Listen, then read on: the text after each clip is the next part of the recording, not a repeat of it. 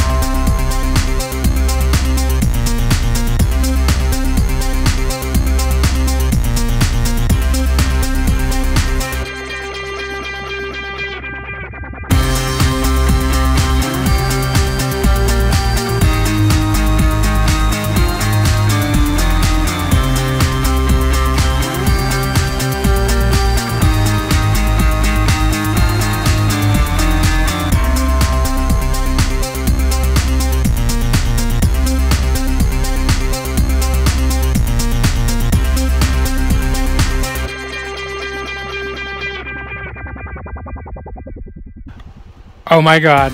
I love it. I love it. I love it. I love it. Wow. Ha ha ha.